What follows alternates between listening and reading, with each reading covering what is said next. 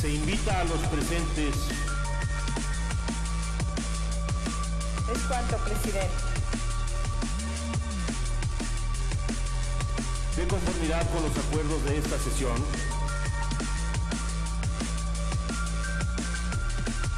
Cierres al sistema electrónico. Con su venia, diputado presidente. Adelante, diputado. Muy buenas tardes, compañeras y compañeros legisladores. A nombre de la Comisión de Justicia, vengo a presentar el dictamen a la iniciativa por la que se reforma el artículo 360 del Código Civil Federal con la adición de un primero, de un segundo y un tercer párrafos.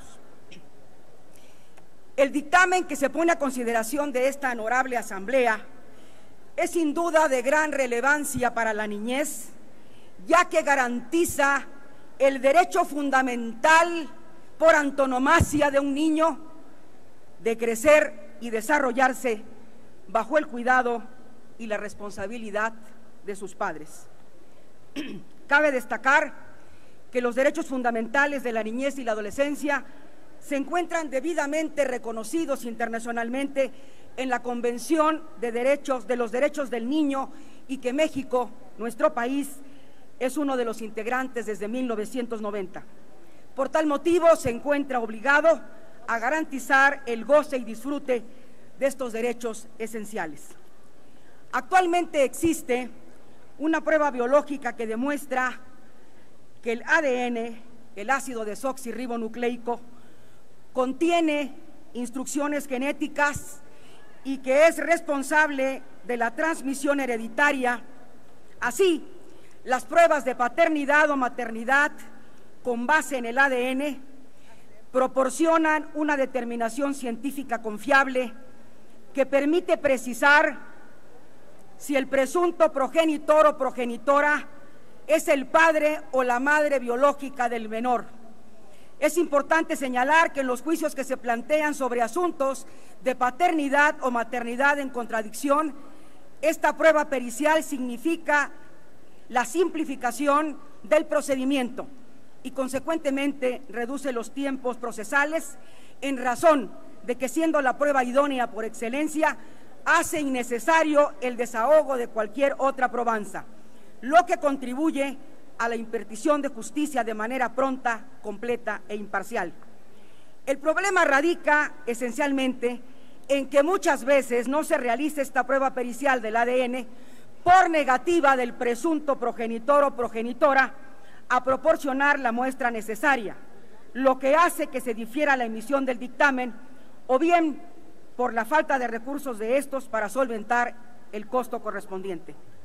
Derivado de lo anterior, los diputados integrantes de la Comisión de Justicia determinamos que es importante que en el Código Civil Federal se establezca que en el caso de que exista contradicción en lo relativo a la paternidad o a la maternidad, prevalezca el interés superior de la niñez, aprovechando en toda su trascendencia los avances de la ciencia, como lo es la prueba pericial en materia de genética, que en la actualidad es la prueba idónea, cuya confiabilidad es innegable, y que se instituya que el probable progenitor que se niegue a proporcionar la muestra necesaria para la emisión del dictamen sea considerado como tal, salvo prueba en contrario.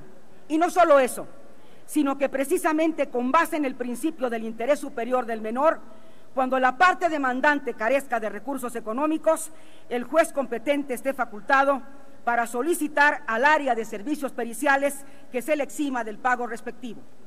Reconocemos la competencia de las entidades federativas de legislar en aspectos en materia civil como el que aquí se trata, por lo que esta propuesta de reforma al Código Civil Federal servirá como referente a los congresos locales para considerar la adopción de este tipo de disposiciones que van enfocadas a la salvaguarda de los derechos de los menores de edad.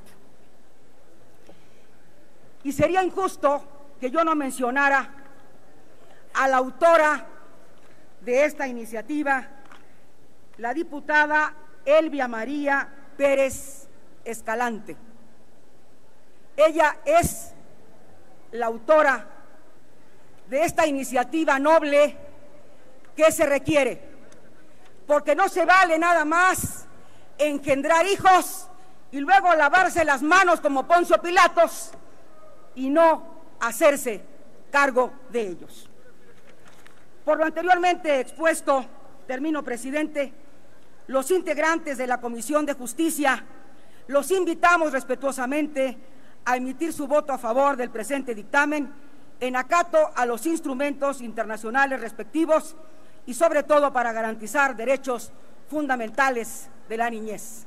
Y como esta también será mi última intervención frente a este pleno, yo quiero agradecer en primer lugar a los electores que me dieron la oportunidad, igual que ustedes, de venir a este recinto a trabajar a favor de ellos. El balance de la actuación de cada uno de nosotros, pues cada quien en lo particular lo hará. Pero quienes calificarán nuestro desempeño están allá afuera. Aquí están representados en este recinto todos los sectores de la población, todos los mexicanos, en la izquierda, en la derecha, en el centro. Y eso es muy importante. Tuvimos discusiones fuertes, sí las tuvimos, pero es parte precisamente del trabajo parlamentario. Denunciamos lo que se tenía que denunciar. Trabajamos a favor de los mexicanos y yo me siento muy honrada por haber sido parte de esta quincuagésima, perdón, de esta sexagésima segunda legislatura. Agradezco sobremanera a los coordinadores, a todos los grupos parlamentarios y obviamente particularmente al mío, la excelente disposición que siempre tuvimos para sacar las cosas adelante a favor de los mexicanos. Insisto, allá afuera, los mexicanos, ahorita me callo, los mexicanos harán el juicio y nos harán la calificación que indudablemente nos merecemos desde la óptica de los dueños de México, del pueblo. Muchísimas gracias, espléndida tarde y hasta la vista. Gracias, diputada.